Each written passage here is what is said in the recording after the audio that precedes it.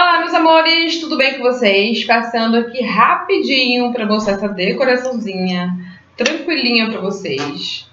Na verdade, ela já tem no canal, né? Que inclusive é um dos vídeos mais visualizados do meu canal, que é a torta bombom. Acho que é assim que tá escrito. Bom, gente, é uma decoração muito simples que por muito tempo, deu tempo, um bom tempo, foi a que eu mais usei lá no sul. Inclusive, teve uma boleira lá no Sul do Sucesso que falou que quando ela mudasse de região, ela ia passar a usar esse tipo de decoração, porque a que ela usava era bem, bem complicada para trabalhar no calor. É, que inclusive é aquela laça de chocolate que gente que passa no acetato e abraça o bolo. Bom, enfim, minha gente. É, eu resolvi gravar para vocês, é, mas para contar o quê? Para contar que é uma boa, é uma ótima decoração Inclusive, para quem não tem prática, que você pode deixar escorrer um pouquinho mais, esconder algum defeitinho que ficou no bolo, você não conseguiu alisar o bolo legal, você não conseguiu alisar o bolo legal. E eu já falei também, granulado também é muito bom. É feito com espada, inclusive aquela, com aquele alicate, alicate, olha, aquele é, pincel de silicone que a gente usa para pincelar. Enfim, gente, aqui no vídeo tem uns videozinhos que eu fiz assim bem aqui no canal, uns vídeos bem rapidinho assim para quem tá começando na decoração. E aí outra coisa também. A minha cliente queria um bolo assim, com frutas em cima e a ganache escorrendo. Beleza, né? Já, gente, se você for ver na internet, tem bastante decorações assim. Tem só com a fruta concentrada no centro. Tem com a fruta, concentra a fruta concentrada do lado. Tem com a fruta com ganache escorrendo só na lateral e a fruta por todo o bolo. Tem com açúcar peneirado em cima das frutas. Enfim, a gente tinha todos os jeitos lá. Mas eu fiz de um jeito. Quando tentei colocar, dar o meu. Tentei dar o meu melhor no bolo é, a fim que ela gostasse, que fazer uma coisa diferente. Até porque ela não queria muitas frutas. Ela, ela queria uva e ela queria uva e morango e a ganache. Ai, né? mamãe, olha.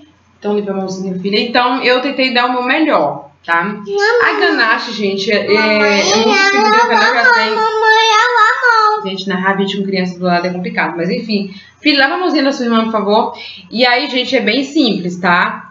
É, a, a ganache já tem aqui no canal, mas eu vou deixar as medidas aqui na descrição dos vídeos para vocês. Um truque também, quando você coloca aquela gotinha, ela não desce, ela para, que às vezes o que acontece quando o chantilly tá muito gelado, você deixa o bolo descansando, o, trava, que não é esse caso. Aí você vai com o palitinho, com cuidado, fazendo ela soltar e descer a bolinha, descer a gotinha aí fica mais bonito. Ou você quer só alongar a gota. A gota ficou curtinha, se você pingar outra, não fica legal o efeito.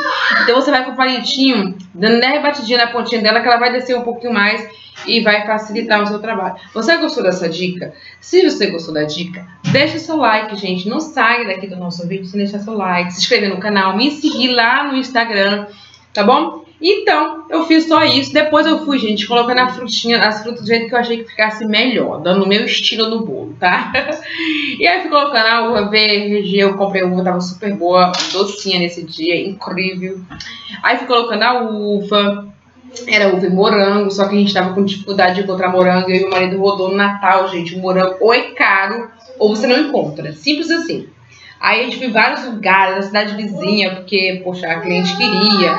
Mas, gente, não ficou legal, não ficou, não, não deu pra achar bastante morango. Achei uma caixinha, aproveitei. Aí, pra dar aquele chame, eu, eu fui lá e peguei, fiz a misturinha ali com álcool de cereal da Fab. E aí, fui dando essas pinceladas pra ficar bem legal, ficou bem interessante. Depois, gente, na, na imagem não mostra, não, mas eu pincelei o moranguinho também, dei uma leve pincelada pra deixar ele chique cara de rico. Olha só como ficou lindo. E a minha cliente amou, tá, gente? O recheio desse bolo era ameixa com nozes, abacaxi com coco e ameixa com nozes. Bom, espero que vocês tenham gostado do vídeo. Se gostou, deixa o like mesmo, gente, pra ajudar, tá bom? Ajuda o canal aí. A gente tem bastante receitas gravadinhas aí, gravada para poder editar e bastante ideia. Então eu quero que você ajude o canal a crescer. Um beijo, fique com Deus e tchau, tchau. Ah, coloquei um chantilly e uma, cere uma cerejinha aí em cima, tá? Beijos.